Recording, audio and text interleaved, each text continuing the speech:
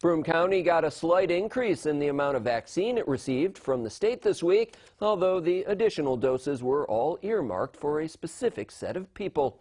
The county health department is getting 500 doses, 400 for frontline essential workers in the 1B priority group, and another 100 which will serve clients and workers from the state's Office for People with Developmental Disabilities. The county plans to admi administer them at another clinic this Thursday at the SUNY Broome Ice Rink. All the appointments were filled within an hour of going live online today. Broome is also planning some pop-up point of dispensing sites or pods that will target underserved populations like the poor and minorities following a directive from the state.